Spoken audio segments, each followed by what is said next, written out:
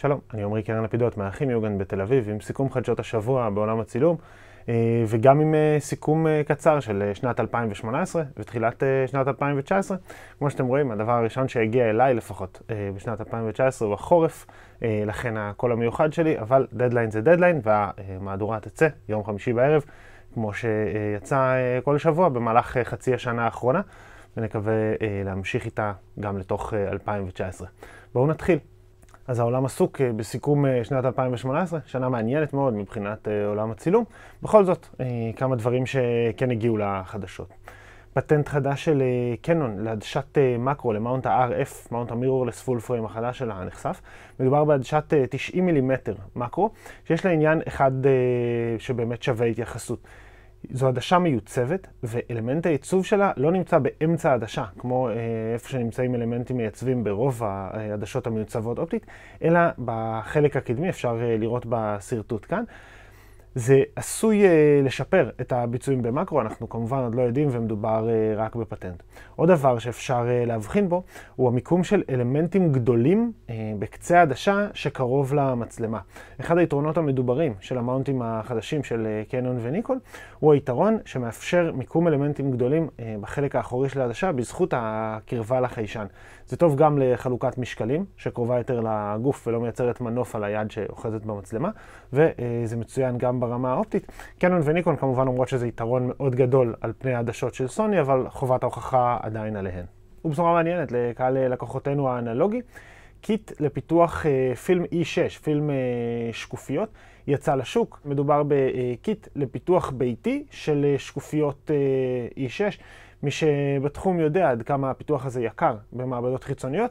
מצד שני, צריך לשים לב שזה מדובר גם בפיתוח יחסית מסובך ויחסית אה, רגיש. כרגע אין לנו שום מידע על איכות הפיתוח ועל הרגישות שלו, בכל זאת מעניין לראות אה, המצאות ופיתוחים חדשים גם בשוק הזה.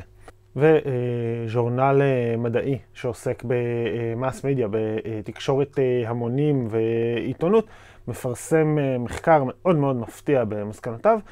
מחקר קובע שצילומים שצולמו על ידי צלמות וצלמים מקצועיים גוררים חשיפה, engagement יותר גבוה ברשתות החברתיות מאשר צילומים שצולמו על ידי צלמות או צלמים לא מקצועיים.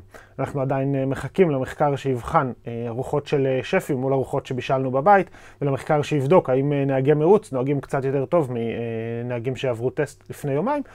בכל זאת, מחקר uh, מעניין, אולי uh, שווה לתת איזה מילה לכל uh, מערכות העיתונים שפיטרו צוותי צילום שלמים בעשור האחרון. אחרי גלים של שמועות, אולימפוס מוציאה היום טיזר למצלמה חדשה. הטיזר מתמקד במיוחד בצילומי ספורט ומראה לנו את הצללית המפורסמת של מצלמה כדי שנדע שמשהו הולך לבוא, אבל לא יהיה לנו שום מושג מה בדיוק. אז כנראה שב-2019 נקבל גם מצלמה חדשה מאולימפוס. אולי אה, זה הזמן לסיכום קצר של אה, מה שהיה לנו ב-2018.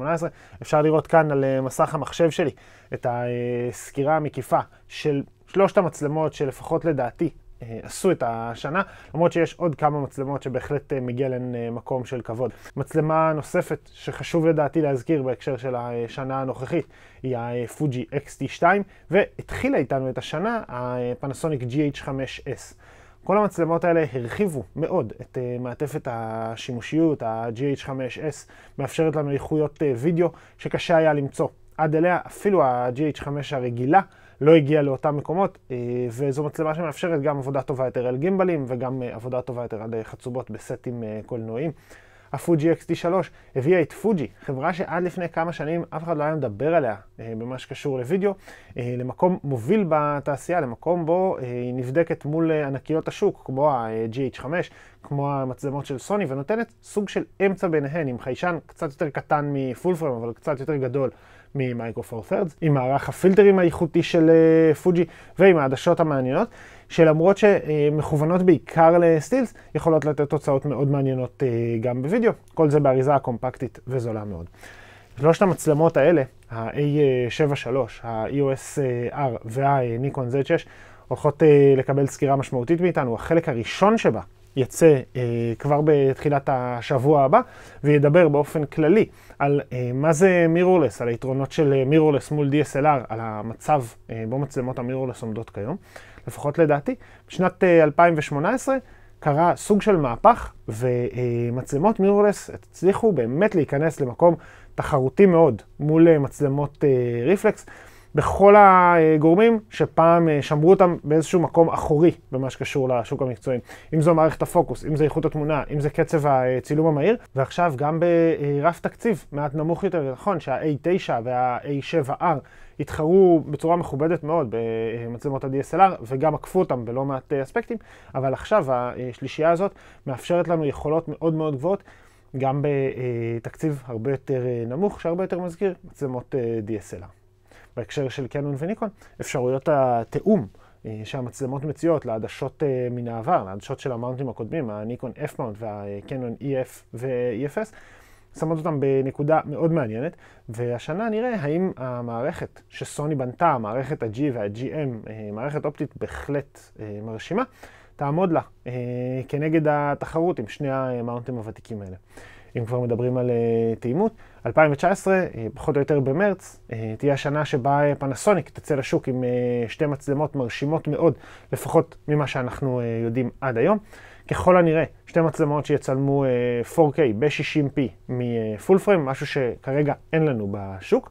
ובהקשר של פנסוניק לא מדובר רק בליין מצלמות חדש, אלא גם ב mount חדש לגמרי, בשיתוף פעולה של שלוש חברות מאוד משמעותיות, פנסוניק, לייקה וסיגמה. נחיה ונראה מה זה אומר. בתחום התאורה קיבלנו השנה את הפרופוטו B10, פלאש מרשים מאוד, שמשלב גודל זעיר קצת יותר גדול מעדשת זום והרבה יותר קטן מכל monolight, עם סוללה, עם TTL, HSS, כל מה שצריך לפלאש בשטח, וגם עם היכולת להפעיל אותו דרך סמארטפון, גם לשלוט ברמות התאורה, גם לשלוט בצבע ה modeling light לעבודת וידאו. כמה מהסרטונים האחרונים שלנו מוארים בין השאר בפרופוטו B10, גם הסרטון הזה בחלקו. בהחלט פלאש שבא לענות על הצרכים ההולכים ומתגוונים של צלמות וצלמי hybrid, מי שמצלם גם וידאו וגם סטילס. והפלאש הזה גם יופיע באחת ההרצאות שתהיה אצלנו ממש בחודש הבא, נגיע לזה בסוף הסרטון. התפתחויות נוספות ומעניינות שראינו השנה הן בתחום הסמארטפונים. סמארטפונים חדשים, כמו האייפון XS, כמו הגוגל פיקסל החדש, הביאו את הרעיון של Computational Photography, צילום חישובי לרמה באמת מדהימה. לא הייתי אומר שהם מתחרים במצלמות DSLR במה שקשור לאיכות תמונה אבסולוטית, אבל במה שקשור לעומק שדה ובמה שקשור באמת למה שאפשר לעשות עם מעבד מאוד מאוד חזק מאחורי מצלמה, אולי אפילו די מעינונית, הסמארטפונים האלה בהחלט מראים שיש עוד לאן להתקדם גם בתחום המצלמות. אחרי הכל, כל טכנולוגיה שמגיעה לסמארטפונים תגיע בסופו של דבר גם למצלמות. והנה, בדיוק היום מגיע דיווח על תמונה שדלפה של סמארטפון חדש של נוקיה, שמגיע עם חמש מצלמות. יש לנו את שיתוף הפעולה של לייקה עם חברת לייט, שהפיקה את מצלמת הלייט 16. למעשה 16 מצלמות באריזה אחת שמבוססת על Computational Photography. נראה לאן זה יוביל, זה בהחלט עוד תחום מאוד מעניין ש-2018 קידמה אותנו בו, לכיוון מצלמות קטנות יותר, קומפקטיות יותר, שלא מתפשרות על איכות. וסוף השנה הוא גם זמן נהדר להודות לקהל צופינו בפייסבוק, ביוטיוב, במהדורת החדשות השבועית או בסרטונים המעמיקים יותר, וכמובן לקהל לקוחותינו שמגיעים לחנות, שעוזרים לנו להמשיך עם זה. אז שתהיה שנה טובה. אנחנו כמובן נהיה כאן בשבילכם גם בשנה הבאה, גם בקנייה וגם uh, בכל מה שקשור לשירות שאחריה, גם בידע מקצועי בחנות וגם בתוכן אינטרנטי שפתוח כמובן לכולם. ואם כבר uh, שנה חדשה, אנחנו פותחים אותה עם uh, חודש ינואר של הרצאות uh, מרתקות אצלנו בחנות.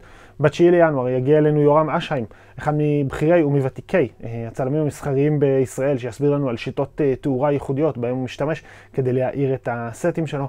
ב-16 לינואר יגיע אלינו עורך דין זיו אנג'ל להסביר על זכויות יוצרים.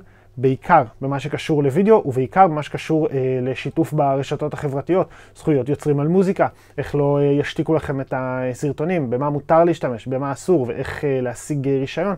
וזה רק אמצע החודש, הרצאות נוספות יהיו בהמשך. אנחנו מתכננים לכם בכל אופן שנה מלאה בתוכן. אז אני עמרי קרן לפידות מהאחים יוגן בתל אביב, שתהיה שנה טובה, חורף קל, וניפגש, להתראות.